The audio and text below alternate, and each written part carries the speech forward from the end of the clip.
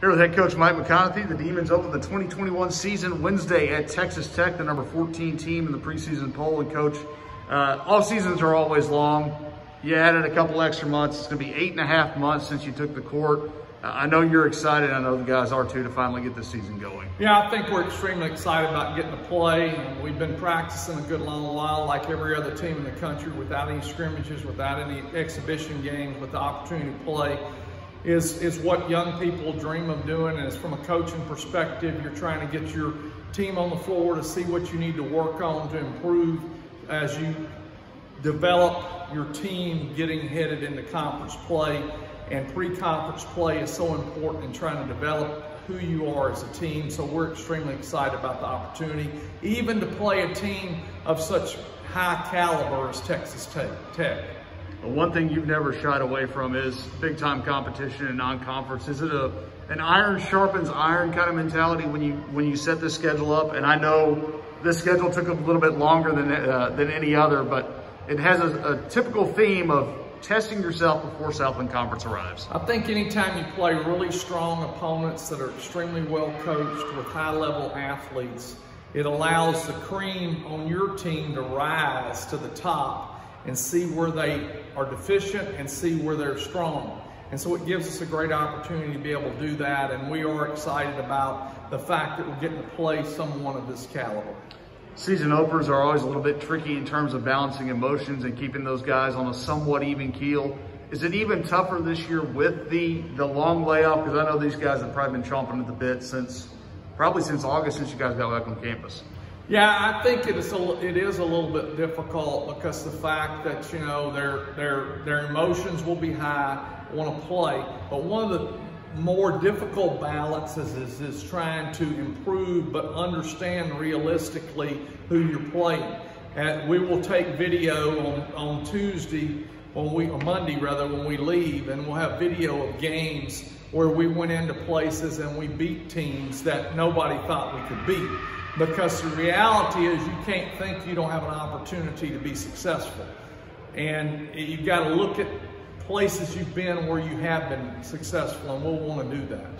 I know it's always a special trip when you can go play near home, and Dalen Williams, one a couple of years ago, had maybe his best statistical game as a Demon out at Texas Tech, not far from his home. You got some Texas guys on this this roster that I know are very eager to open against the Red Raiders. Uh, no doubt about it. Um, glad that we've got some Texans. Without those Texans, we wouldn't be potentially the team that we can be. So we're excited about Jairus and, and Dalen and what they bring to the table, but getting them back in Texas to play, even though we'll be a long way past DeSoto High School, uh, we will be close to Dalen's hometown, and we're excited about them getting to play in Texas as you turn the page and look toward the end of what's going to be a very busy Thanksgiving week, you guys go to Ruston.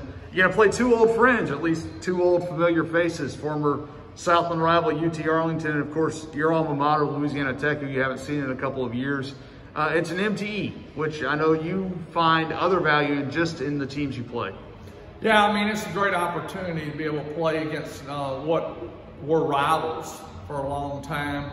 And I think that that's one of the things that college athletic, athletics really, really thrives on rivalry. So getting to reunite, and play against some former rivals is very, very important.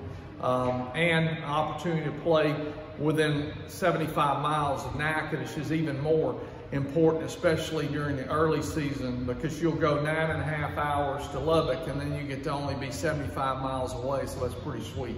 Well, we talked about the guys going back to Texas. You get to go back home a little bit. Uh, you obviously played at Louisiana Tech, grew up right down the road in Bossier. So a little more special for you, too, to be able to go for the first time in a couple years back to where you played and stay close to family and friends. Yeah, it really is neat. But you know, what's really interesting is Thomas Assembly Center is what they talked about when I was being recruited.